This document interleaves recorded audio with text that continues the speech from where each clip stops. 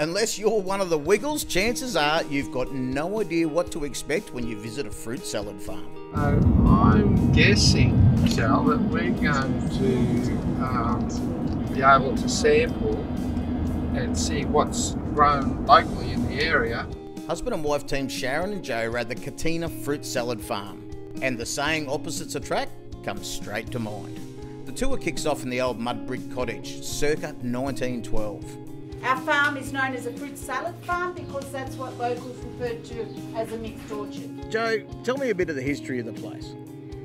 Well, my father started this place in 1963, and after a while I, I left school and joined him on the farm, and, and here I am now. As we've travelled around with Rural Aid front of mind, the ability to talk one on one with a farming family gives you a great perspective. We, over the years, we changed crops from apples to pears and prunes and into grapes and oranges.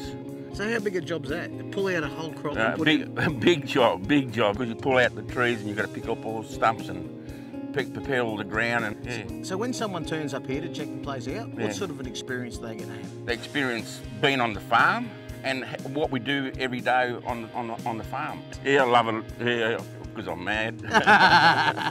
Generous to a fault, these two, with their time, their experience, and their produce. And quirky.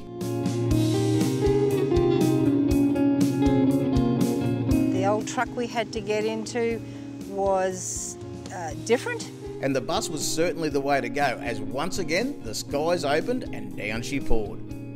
The little orange tree there is a blood orange. If you went to Sicily in the winter months and asked for an orange juice, the only orange juice you'd get would be a blood red orange juice. Then it's the movie. Yep, they even have their own theatre and enough prunes to keep everyone regular. And then the sound all the locals have been waiting for rain on a tin roof. It actually poured with rain while we were there. Which was great for us because it gave us time to look around Joe's ultimate man shed. And then we went into the uh, house and sampled some of the amazing produce that they made, as well as some wines locally made on the farm. And importantly, we got to put some money in the till by stocking up.